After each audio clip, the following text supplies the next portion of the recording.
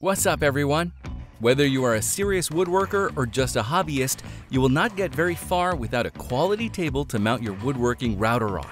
We have compiled a list of the best benchtop router tables so that both amateur and professional woodworkers will be able to find the best product choice for them and their needs.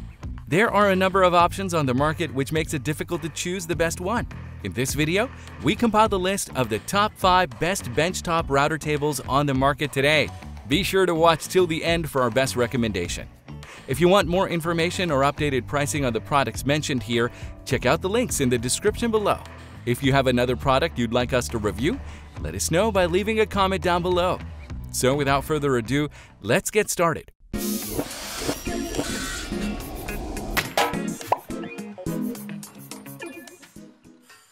First we have Kreg PRS 2100 Benchtop Router Table. A fantastic table that will enable you to get any woodworking job done, even if you have to stop in the middle, pack up the table, and resume again later. If you are woodworking on the go or if you anticipate moving around a lot, this table is a great choice for you. Its pros are, it is good for use by amateur woodworkers. It has included vacuum system to get rid of wood dust. Its legs are strong and sturdy. Table does not rock at all. It comes with setup bars, feather boards, and insert discs. And it can be light enough to also be a portable table if you are woodworking on the move. However, its clamps holding the fence are not super strong. Fence can move slightly if there is enough pressure. Bottom line is, its industrial quality fence is equipped with vertical jointing, adjustable faces, cam clamps, and dust collection. Its router insert plate is designed with level lock, reducing rings, and precision plate levelers, and its MDF tabletop is manufactured with an easy slide surface. Next, we have Craftsman Router and Router Table Combo. Because this combination comes from the reliable Craftsman brand, you know you are getting a high-quality router, and in that regard, this product certainly does not disappoint. This is for someone who is looking for a smaller router table with an included high-quality router to get basic home improvement woodworking tasks done. Its pros are, its small size makes it easy to fit into any shop. It is great for those new to the world of woodworking. Its router bit height is easily adjustable, with a dial to make fine-tuned micro adjustments. And the router can easily be detached from the router table and used as a free router if desired. However, the router table is made of particle board, so not super sturdy. Bottom line is, the Craftsman is designed with a dust guard, miter gauge, a 0.25-inch collet, and featherboards. The unit comes equipped with a double outlet strip and a dust extraction port.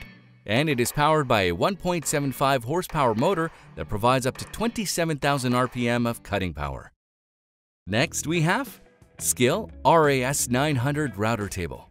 This router table is a fantastic option for a user who does not do a lot of consistent woodworking and consequently is most interested in a table that can be easily folded up and stored away when not in use.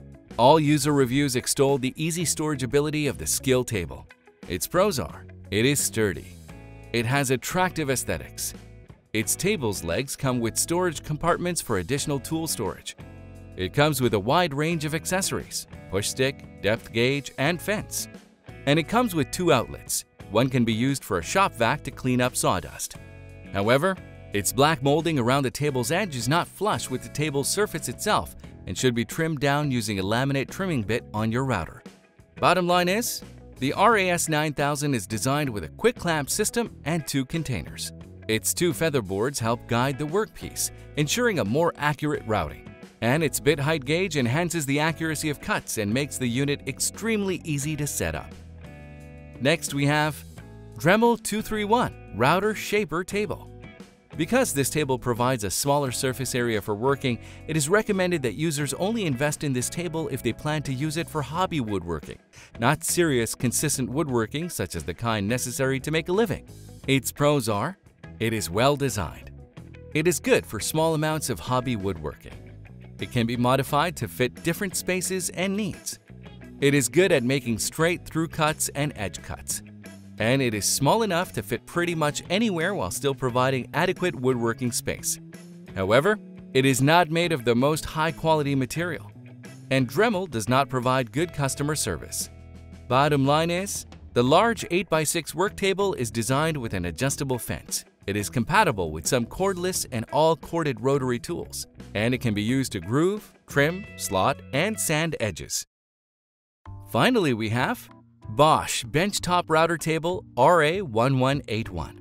A great option for a smaller router table that you will be able to fit anywhere and easily adapt to multiple different kinds of routers, not just the ones advertised as compatible with this table. This is an awesome router table for those users who are looking for a bit of versatility in their router usage. Its pros are, it includes multiple safety features. Its dust extraction feature works well. It is great for small shop woodworking. It is made of durable, lasting, heavy-duty materials. And users report this router table finally made them feel confident enough to use their router for projects they had been putting off. However, its leveling screws loosen easily. Bottom line is, it is designed with a dust collection port, 6-foot power cord, dual outlet switch, and two adjustable feather boards. The aluminum fence is manufactured with MDF faceplates, and the unit can be attached to any workbench. There you have it, our top 5 best benchtop router tables on the market. Check out the links in the description below for detailed information and the latest pricing. If you thought this video was helpful, please smash that like button and consider subscribing. If you didn't, let me know why in the comments below. Thanks for watching, and I'll talk to you in the next video.